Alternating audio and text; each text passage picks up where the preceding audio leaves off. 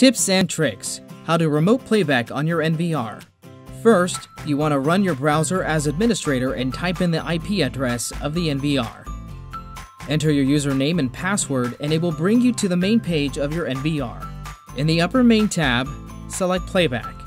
On the left, select the camera you wish to view. Next, select the date you want to go back to, then click on Search. Select the point on the timeline you want to review. Then, click on the play button at the bottom of your screen to begin playback. You have just done a remote playback of the NVR from your web browser. Thanks for watching.